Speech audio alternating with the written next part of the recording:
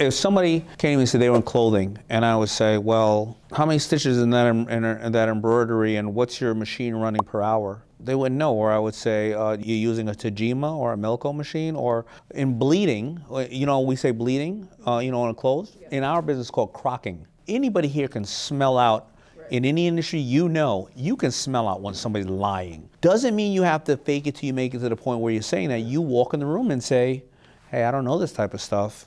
I know this. And I think that those are a lot of tips you can use in every single industry.